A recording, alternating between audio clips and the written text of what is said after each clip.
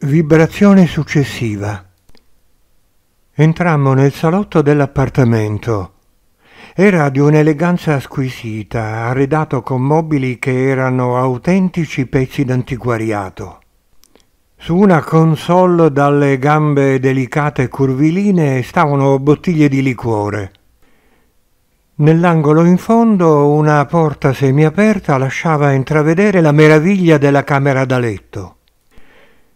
Gennaro, il ricco padrone di casa, mi presentò a Dennis, l'americano, in maniera piuttosto sbrigativa. Dennis, questo è il mio più caro amico. Dennis posò lo zaino sul tappeto e si sedette. Gennaro ci indicò i liquori. Bevete qualcosa? L'americano non aveva intenzione di bere alcol alle undici sì, grazie, disse, un caffè. Gennaro gli rivolse un'occhiata incuriosita, poi disse A mano a mano che l'America perde potere a favore della Cina, gli americani diventano sempre più europei.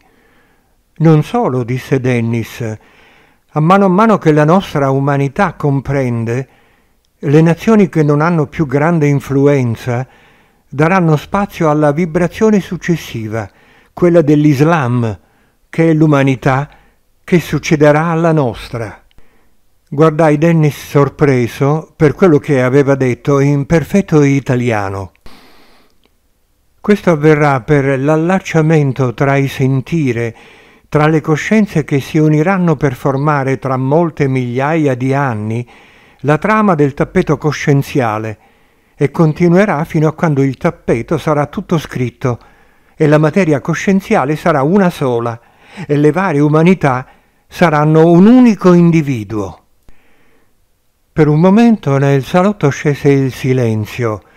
La faccia intensa di Gennaro era sorpresa da quello che aveva detto Dennis.